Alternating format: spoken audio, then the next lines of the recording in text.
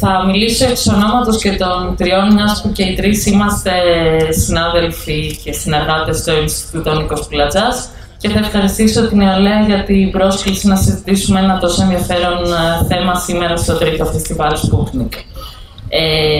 από την πλευρά μου θέλω να πω ότι δέχτηκα την πρόσκληση να μιλήσω στην εκδήλωση σήμερα παρότι δεν έχω καμία ιδιαίτερη ακαδημαϊκή ενασχόληση με τον Μάρξ όχι μόνο γιατί χάρηκα πολύ που μου κάνανε τα παιδιά την τιμή να με καλέσουν, αλλά και γιατί θεώρησα ότι μπορώ να προσπαθήσω να προσεγγίσω το θέμα της εκδήλωσης από τη σκοπιά ενός νέου ανθρώπου ενταγμένου στην αριστερά και να προσπαθήσω να απαντήσω το ερώτημα που έβαλε η νεολαία στην αρχή, γιατί σήμερα, 200 χρόνια μετά τη γέννησή του, εξακολουθούμε να ασχολούμαστε με το Μάρξ. Η αλήθεια είναι ότι δύσκολα θα μπορούσε να βρει κανείς έναν διανοητή, ειδικά της νεωτερικότητας, ο οποίος να έχει επηρεάσει τόσο πολύ και για τόσα πολλά χρόνια όχι μόνο την επιστήμη, τη φιλοσοφία, αλλά και την καθημερινότητα εκατομμυρίων ανθρώπων σε όλο τον κόσμο. Άλλωστε, γι' αυτό το λόγο φέτος έχουν γίνει παντού και κυρίως στην Ευρώπη εκδηλώσεις, εκδόσεις, ε, συνέδρια αφιερωμένα ακριβώς στην επέτειο των 200 χρόνων από τη γέννησή του. Ωστόσο, πριν προσπαθήσω να απαντήσω στο ερώτημα που είναι το κεντρικό ερώτημα της εκδήλωσης, θα ήθελα να επισημάνω ένα στοιχείο που κατά τη γνώμη μου είναι σημαντικό. Ε, όταν σήμερα μιλάμε για τον Μάρξ, δεν μιλάμε στην πραγματικότητα αποκλειστικά για τον ίδιο, το φυσικό πρόσωπο που έζησε και έδρασε και έγραψε φυσικά στη συγκεκριμένη χρονική περίοδο, αλλά μιλάμε για μια εικόνα που έχει σχηματιστεί στο μυαλό των ανθρώπων σήμερα ε, για το τι είπε στο έργο του Μάρξ ε, ως μια εικόνα που έχει περάσει από πάρα πολλά πρίσματα. Και ξέρετε, τα πρίσματα μας μαθαίνει η φυσική και η τέχνη, αφενός με διαθλούν το φως και άρα εν μέρει διαστρεβλώνουν την εικόνα, από την άλλη όμως το εμπλουτίζουν και ομορφαίνουν την τελική εικόνα που φτάνει στα μάτια μας. Το πρώτο πρίσμα είναι ασφαλώς τα κόμματα και τα κινήματα που είτε εμπνεύστηκαν είτε τουλάχιστον ισχυρίζονταν ότι εμπνεύστηκαν από την uh, θεωρία του Μάρξ και τις αρχές της. Θυμίζω ότι από τα πρώτα μαζικά σοσιαλδημοκρατικά και εργατικά κόμματα του τέλους του 10ου αιώνα και τα κομμουνιστικά κόμματα της Τρίτης Διεθνούς, μέχρι και πολύ πρόσφατα ε, στο ρεύμα του Ευρωκομμουνισμού, στη Νέα Αριστερά του δεύτερου μισού του 20ου αιώνα, ακόμα και στα εθνικοαπελευθερωτικά κινήματα του λεγόμενου Τρίτου Κόσμου, η επίκληση του Μάρξ ήταν διαρκής. Βέβαια, στο πλαίσιο αυτό, κυρίαρχο ρόλο είχε η Σοβιετική Ένωση, που για πάρα πολλά χρόνια θεωρούνταν το επίσημο εντός εισαγωγικών μοντέλο πρακτικής εφαρμογής της μαρξική θεωρίας. Αυτή λοιπόν η άμεση σύνδεση της μαξικής θεωρίας με την εφαρμοσμένη πολιτική κομμάτων αλλά και επίσημων καθεστώτων σε κάποιες χώρες είχε ένα διπλό αποτέλεσμα. Αφενός η αντίληψη πολλών ανθρώπων περί του τι είναι μαρξισμός, ανθρώπων που δεν είχαν άμεση υποπτία του έργου του Μάρξ, σχηματίστηκε με βάση τα πεπραγμένα αυτών των κομμάτων και αυτών των καθεστώτων. Αφετέρου, η προσπάθεια όχι απλώς κατανόησης, αλλά πρακτικής εφαρμογής της μαρξικής θεωρίας, ε, από τη μία ανέδειξε τα κενά. Ξέρουμε όλοι ότι ο Μάρξ δεν έγραψε για όλα και δεν έγραψε για όλα στον ίδιο βαθμό. Από την άλλη πλευρά προκάλεσε την αυτονόητη ανάγκη των συλλογικοτήτων και των ανθρώπων που προσπάθησαν να εφαρμόσουν τη θεωρία του Μάρξ στο να αναστοχαστούν πάνω στην εμπειρία τους αυτή και άρα με αυτόν τον τρόπο γεννήθηκε ένα πλήθος ε, αναλύσεων για την ερμηνεία για τη συμπλήρωση του μαρξικού έργου. Αυτό ακριβώς είναι και το δεύτερο πρίσμα μέσω του οποίου έφτασε μέχρι σήμερα η θεωρία του Μάρξ σε εμάς και αναφέραμε φυσικά στους μαρξιστές και στους μαρξισμούς.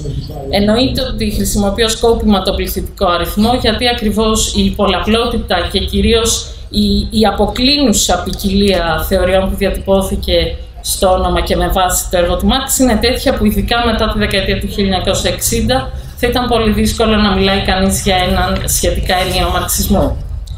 Εννοείται ότι όλες οι θεωρίες που αναπτύχθηκαν με αφορμή το Μάρξ δεν είχαν ούτε το ίδιο αναλυτικό βάθος, ούτε βέβαια και τον ίδιο αντίκτυπο στην ε, εποχή τους. Ωστόσο, πρέπει να αναγνωρίσουμε ότι όλη αυτή η θεωρητική και επιστημονική παραγωγή είτε διέδωσε και ερμήνευσε, είτε η θελημένα ή αθέλητα διέστρεψε το νόημα των γραπτών του Μάρξ, σε κάθε περίπτωση συνέβαλε στο να διατηρεί το Μάρξ επί πάνω από 150 χρόνια στην επικαιρότητα σχεδόν αδιάλειπτα. Για να επανέλθω όμως στο ερώτημα που τέθηκε στην αρχή, γιατί δηλαδή ασχολούμαστε ε, σήμερα, 200 χρόνια μετά τη γέννηση του Μάρξ, με το έργο και τη ζωή του. Καταρχάς, ε, στο έργο του Μάρξ υπάρχει μια σαφής διαφορά σε σχέση με το έργο άλλων πολύ σημαντικών ωστόσο διανοητών. Ο Μάρξ τουλάχιστον από ό,τι εγώ μπορώ να σκεφτώ είναι μάλλον ο μόνος από τους νεότερους που επιχείρησε μια όχι απλά διεπιστημονική αλλά σχεδόν οικουμενική και καθολική περιγραφή της κοινωνικής πραγματικότητας, της ιστορίας της ανθρωπότητας και του τρόπου με τον οποίο διαμορφώνονται και μετασχηματίζονται οι ανθρώπινες κοινωνίες.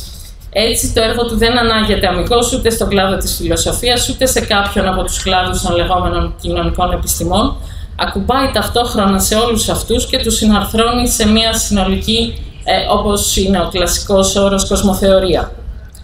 Ε, το πρώτο σημείο που θα ήθελα λοιπόν να θίξω είναι ακριβώς ότι το έργο του Μάρξ έχει μια σημαντική, αυτοτελή και ακαδημαϊκή αξία εκτός από πολιτική, γι' αυτό άλλωστε διδάσκεται και στα περισσότερα πανεπιστήμια του κόσμου. Έχει μάλιστα διαμορφώσει δύο μεγάλες κατηγορίες, όχι μόνο πολιτικών, αλλά και επιστημόνων, καθώς πολύ συχνά διακρίνει με τους μαρξιστές και τους μη μαρξιστές.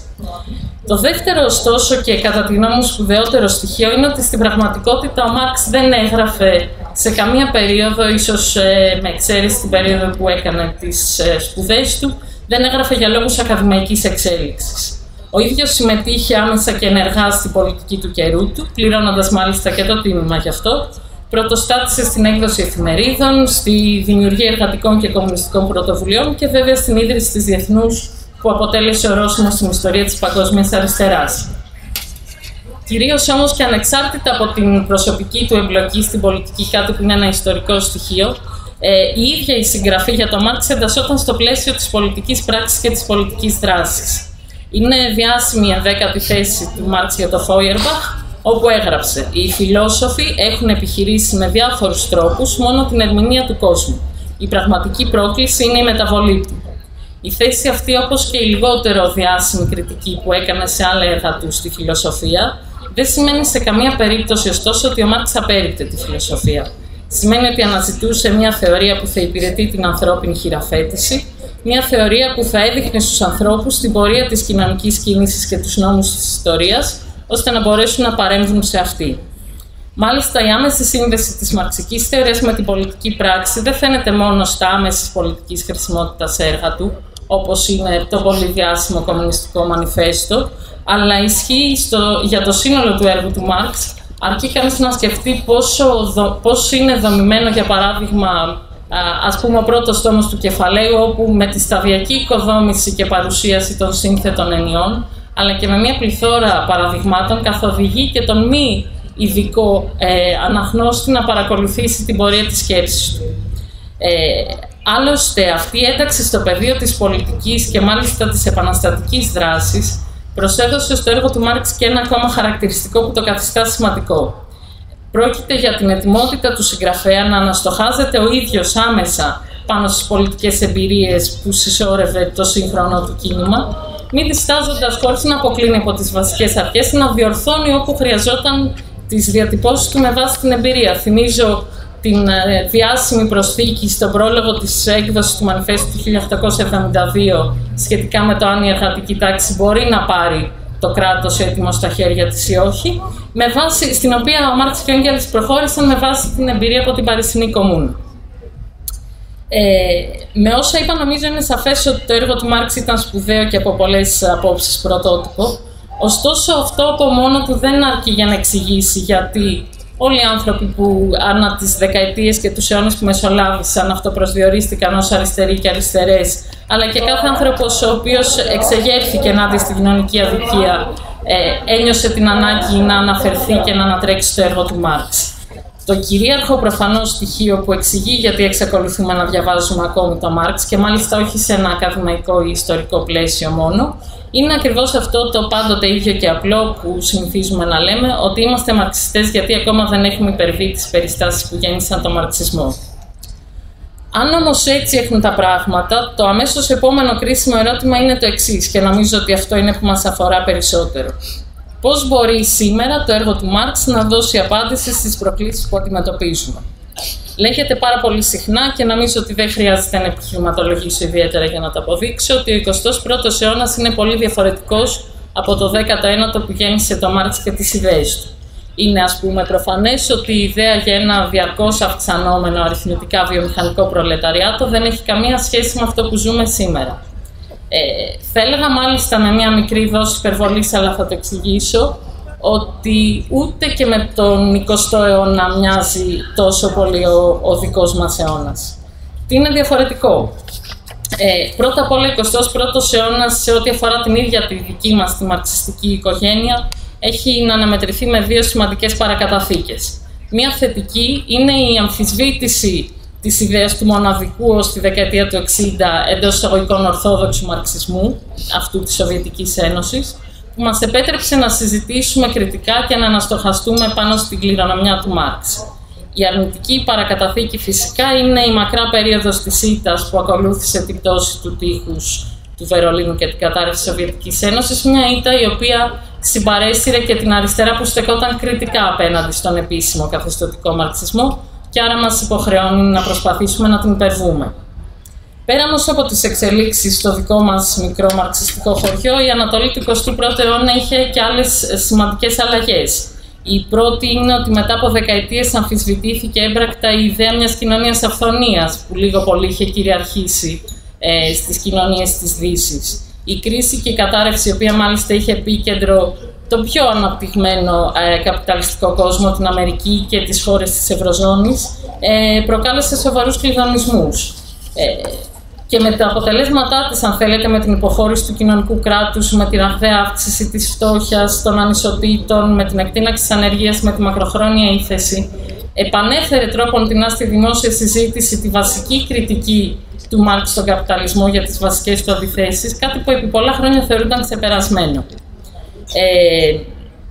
το δεύτερο στοιχείο είναι οι ραγδαίες εξελίξεις της τεχνολογίας. Πρόκειται για ένα πεδίο σύνθετο, διότι δεν επιδρά μόνο στον τρόπο της παραγωγής όπως έγινε συνήθως σε προηγούμενες ε, φάσεις τεχνολογικής πρόοδου, παράδειγμα ξέρω εγώ στη, στη diesel μηχανή, αλλά επιδρούν πολύ πιο παρεμβατικά στον τρόπο που παράγεται και διαδίδεται η γνώση, στην οργάνωση καθημερινότητας των ανθρώπων, στον ελεύθερο χρόνο τους, ακόμα και στις διαπροσωπικές τους σχέσεις. Δεν ισχυρίζομαι φυσικά ότι μπορούμε να ακολουθήσουμε τη λογική των λουδιτών και να επιτεθούμε στις μηχανές, Όμως, εξίσου θεωρώ ότι δεν πρέπει να προσχωρήσουμε ούτε στη λογική μιας τέταρτης βιομηχανικής επανάστασης που εκ προημίου θεωρεί θετική κάθε τεχνολογική πρόοδο, όπως και αν συντελείται αυτή. Σε κάθε περίπτωση, το θέμα της τεχνολογίας είναι ένα δεύτερο στοιχείο που μπορούμε να αντλήσουμε εργαλεία από το Μάρξ για να το συζητήσουμε και να το μελετήσουμε σε βάθος.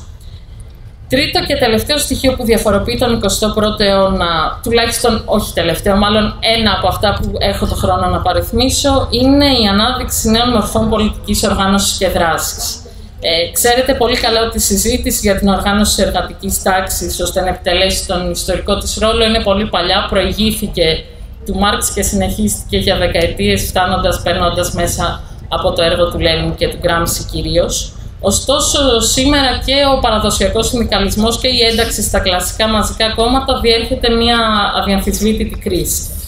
Αντίθετα, την ίδια στιγμή νέες κινηματικές μορφές από τα κάτω, με εναλλακτικούς τρόπους πολιτικής κινητοποίησης, ενίοτε και διαδικτυακούς, ε, αναδύονται και βρίσκουν πολλές φορές όχι απλά θέση, αλλά και πρωταγωνιστικό ρόλο στους πολιτικούς αγώνες. Ένα θέμα, λοιπόν, τρίτο που πρέπει να συζητήσουμε είναι αν αυτό σημαίνει, κατά τη γνώμη μου, όχι ότι ξεπεράστηκε το παραδοσιακό κόμμα της εργατικής τάξης ή πως αυτό πρέπει να μετασχηματιστεί και να μπορεί να συναρθρώνει στο εσωτερικό του όλα τα μερικά και τα ε, τοπικά στο πλαίσιο των κυρίων αντιθέσεων του καπιταλισμού. Για να κλείσω, θέλω να θέσω ένα τελευταίο ερώτημα. Πώς μπορούμε πρακτικά να αξιοποιήσουμε, επειδή είναι στο, στο ακροατήριο και πολλοί σύντροφοι της, ε, της νεολαίας, πώς μπορούμε σήμερα λοιπόν και στα, στα χρόνια που έρχονται να αξιοποιήσουμε το έργο του Μάρξ. Ε, όπως όλοι ξέρετε, στη 18η ημέρα ο Μάρξ γράφει ότι οι άνθρωποι κάνουν την ίδια τους την ιστορία, δεν την κάνουν όμως κάτω από ελεύθερες συνθήκες που διάλεξαν μόνοι τους, μα κάτω από συνθήκες που βρέθηκαν άμεσα, που δόθηκαν και κληρονομήθηκαν από το παρελθόν. Αυτό λοιπόν που πρέπει να αναζητήσουμε είναι η γνώση και η ικανότητα να αναλύσουμε αυτές τις άμεσες συνθήκες μέσα στις οποίες ζούμε ως απαραίτητη προπόθεση για να αλλάξουμε τον κόσμο. Και αντίστροφα όμως, αποκτάμε γνώση του κόσμου και αναλυτική ικανότητα με δύο κατά τη γνώμη μου τρόπους. Πρώτον, συμμετέχοντας στην προσπάθεια αλλαγής του και δεύτερον αναστοχαζόμενοι πάνω σε αυτή την εμπειρία μας και ανανεώνοντας διαρκώς τα θεωρητικά μας εργαλεία. Για να κλείσω λοιπόν νομίζω ότι υπάρχουν δύο κίνδυνοι που πρέπει να αποφύγουμε σε σχέση με, την, με τη σχέση μας με το Μάρξ και γενικότερα με τη θεωρία. Ο ένας είναι ο ακαδημαϊσμός. Δεν μπορούμε να προσεγγίσουμε τα κείμενα των Μάρξ και άλλων θεωρητικών με έναν τρόπο σχολαστικό, ως άχρονα ιστορικά κείμενα που έχουν αμυγός φιλοσοφική, για να μην πω αμυγός φιλολογική χρήση. Ο άλλος κίνδυνος είναι ο πρακτικισμός, ο οποίος στη δική μας περίοδο ειδικά είναι πιο έντονος. Είναι πάρα πολύ μεγάλος ο πειρασμός, ειδικά για ένα νέο άνθρωπο, σε μια τέτοια περίοδο τόσο έντονη πολιτικά, να πει ότι τώρα είναι η περίοδος της δράσης και για την θεωρία και τη σκέψη υπάρχει η εποχή της ήττας. Είναι νομίζω το μεγαλύτερο λάθος που θα μπορούσαμε να κάνουμε και με αυτή την έννοια θεωρώ ότι αν ένα πράγμα πρέπει να κρατήσουμε και από το έργο και τη μέθοδο αλλά και από την ζωή του Μάρξ ως φυσικό πρόσωπο είναι ότι σε κάθε περίοδο η θεωρία και η πράξη πρέπει να πάνε χέρι-χέρι. Σας ευχαριστώ.